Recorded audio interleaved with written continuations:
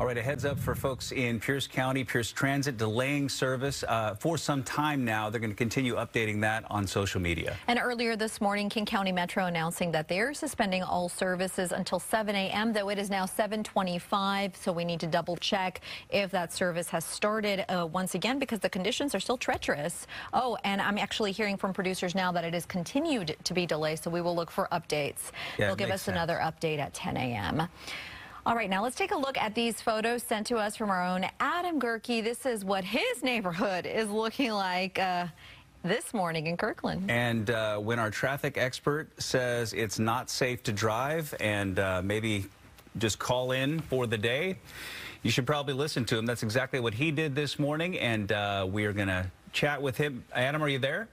I am, and you know, Bill, it's it's accurate. Uh, this morning, and I will say that uh, I was talking with Abby yesterday, and she looked at me as I was leaving the station. She she looked at me from the weather center, and she goes, "I'm really worried about tomorrow." And I said, "Oh." Okay, you know, and I and and I, I took her seriously at that point, uh, but at which point I also realized oh, I better start thinking contingency plans here. And uh, we've recently just moved, and so I still have all of my broadcast gear in boxes around the house. I had to go rummaging through that around 3:30 this morning. That was awesome. But what I can tell you is that sheets of ice have still blanketed a number of surface streets in and around the Puget Sound area. We've seen that in Auburn. We've seen that in Kent. We've seen that in uh, Factoria. We've seen that in through uh, drivers as far north. I'm just now getting reports of trouble in through the Marysville area, southbound I-5 nearing 528, a collision that's taking up part of the roadway. So we're seeing problems stretching across multiple counties here and taking out uh, services also in Kitsap County now, hearing of difficulties uh, in and around the courthouse. The courthouse shut down for the day, waste management shut down for the day in Kitsap County, uh, and other transit services all being impacted. This has really been one for the record books. I haven't seen one quite like this, I think, ever. Yeah, it's it's it's been a while. Uh, I remember we had a, a horrible ice storm uh, about 10 years ago, and Mm, uh, yeah. a lot of power lines down, and that's an issue this morning as well with the ice forming on the power lines and tree branches and so forth. Uh, I was going to ask you about the elevated roadways, the bridges, because I drove across 520. That was probably the diciest stretch that I dealt with uh, on my white knuckle drive in this morning. So talk about why that is, why the elevated roadways Yeah. and the on and off ramps in particular are really dangerous in these conditions. Yeah.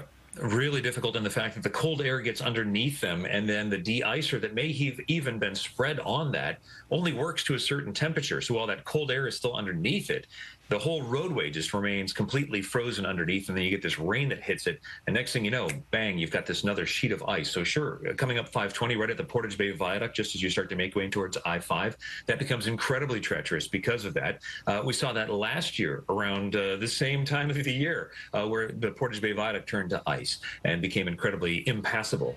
Uh, I would also be concerned about the Ship Canal Bridge, or even say some of the other bridges where it's just uh, metal grates, like parts of uh, the Aurora Bridge used to be, or even also on, uh, say, the University Bridge or the Ballard Bridge. Uh, looking at the Narrows Bridge, that might be another point of concern. That, has pavement to it, but there still may be also some of the uh, the points where you're just driving on metal grate where that gets even worse. So yeah, bad scenes altogether. Bridges, overpasses, on ramps, off ramps, uh, places that have stayed shadowed or only saw just a minimal amount of plowing. Anything that saw snow and still had snow, now that this rain has settled on it, that has become ice as well. So, uh, like my neighborhood here, sheets of ice in all directions. And Adam, just expanding on that, I mean, some people are deciding to make the trek. We're showing them the main arteries, but talk about how, how it was that you decided to take a look around your neighborhood to see if you could even get mm-hmm. out. Yeah, uh, basically had to go as far as the edge of the driveway to realize, wow, this is this is terrible. And that was at 3:30 this morning.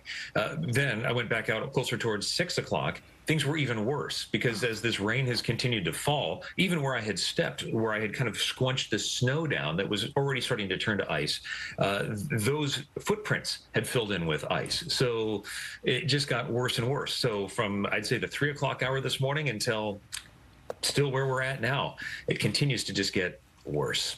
Bad news. All right, Adam Gehrke live from the home office for us. We appreciate you joining us. Yeah.